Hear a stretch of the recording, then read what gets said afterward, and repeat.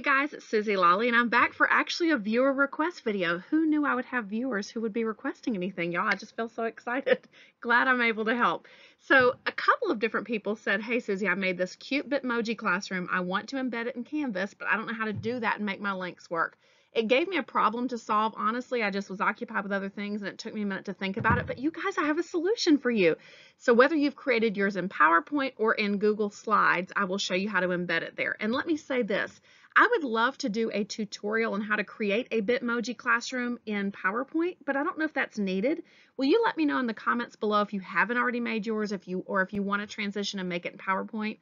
There are lots of resources for it on Google Slides, but I haven't seen any for PowerPoint. So if that video would be useful, I'll make it. If not, you know, don't want to waste time, yours or mine. So just let me know. But let's go ahead and get started with not only how to embed your Bitmoji classroom, but then also some other quick tips for Bitmoji in Canvas. Let's get started. So here I am in a fake course and I have created a page just to demo for you. So I would recommend that if you're going to embed your Bitmoji classroom, you do it on a page just because you have a lot of room to work with. I mean, you could do it at the top of a discussion or a quiz if you wanted to. And if you do that, I'd love to see your creative ideas. I'm just going to start with a page. And over to the right, you're going to see your file upload option. Again, I'm working in a free course, but if you're using a paid course, your link option, when you click it, may now have a thing that says course links. And so if you don't see files over here on the right, if you'll click that and look for course links, then you will see the files option. And so I'm going to have to first of all upload my Bitmoji classroom here. Now I'm working in a PowerPoint to start with, but I'll show you how you can turn Google Slides into a PowerPoint to embed beautifully here because Google Slides is by default an online product and we need to get a file that we can upload. So I have already uploaded mine. It's called Bitmoji Classroom, but you would just come down here to upload a new file and you'd be able to do that. So I've already uploaded and I'm going to pull it in. I've actually got this one here and you're like, womp womp, Suzy, that's really lame. I don't just want a link. Well, watch and stay tuned because this quick trick is going to help you actually help your students actually view the document on the page and be able to click it. So what I'm going to do is once I've uploaded the file, I'm going to hover over it or highlight over it, click my link button, and I'm going to just check this box that says auto open the inline preview. When you see a blank, you have a link. So I'm done there and I can save or save and publish. I'm just going to save for now. I'm not ready for anybody to see it. And now when students come to that page, they will see my Bitmoji classroom. Now it will have the little outline bar around it. If you want to try like exporting as a PDF, that would be another way maybe to get around having that little bar there. Um, PDFs do, I think, embed just, you know, as is on Canvas. And so somebody play with that and let me know. But I'm fine with it being in its original form.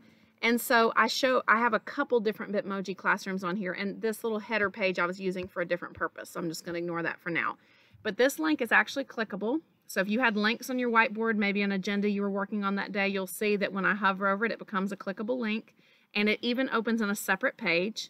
So it would actually take me out to that other Bitmoji classroom that I linked to. Or I had a different Bitmoji classroom that links to, guess what, another one of my videos on my YouTube channel, hint, hint. if you haven't watched about a strong teacher marriage, that's the one I made a while ago. And so those links are beautifully embedded. They do work. And all I did was upload the file, highlight over it, and then use that thing that said, let me go back into edit mode. The thing, that's such a technical term. And then all I did was just click right here to auto open the inline preview. I want to show you now how to grab, if you have a Google Slides document, I want to show you how you can download that as well. And I'm not capturing my whole screen here, so let's see if you can see enough of what you need to see. Okay, so I'm in also a Google version, which is where I think the Bitmoji Virtual Classroom started. And so if you need to grab this one, you would just first of all file download and you would choose download as a PowerPoint. So that's the PPTX. And then you can do those same steps, upload it, uh, and then auto open the preview. That's all you have to do to make a clickable Bitmoji classroom. Y'all, my mind is blown. I hope yours is. Let me know in the comments.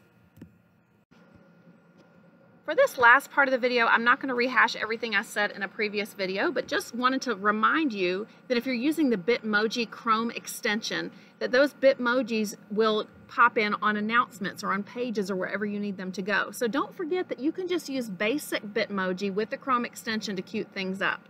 I'll show you how to do that on the next slide. So this is again not a step-by-step on Bitmoji. It's not a step-by-step -step on announcements. I have a video on announcements and I'll make a video on Bitmoji if you need that. Let me know in the comments.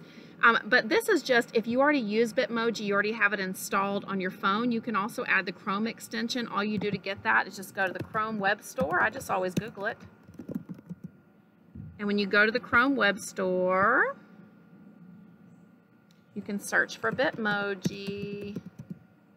Mine is already added, so it says rate it, but yours would say add to Chrome if you haven't used it. Now again, you have to have created it on your phone already and you'd have to log in. So I've got my Bitmoji extension ready. And then anywhere, excuse me, wrong tab, anywhere in Canvas that has a rich text editor, you can paste that. So if I'm in an announcement, if I'm in a page, let me just go to a page just for the sake of it. For the sake of it. Let me go here, view all pages. Okay. I can take a Bitmoji off of here that relates to that page, relates to that topic, whatever it is, and I can just copy it and slap it right there, okay? Slap it being a technical term. when I click on it, it's then, you know, resizable and all that. I can drag if I weren't trying to use my finger. There we go. I can drag, I can use that. So if you just want it for decoration purposes, anywhere you see this bar, your rich text editor, discussion, quiz, announcement, page, you can put it there. So just wanted to add that quick tip. Hope it was helpful. Again, don't forget to let me know if you need a Bitmoji classroom via PowerPoint video. I'm happy to make that if there's a demand for it.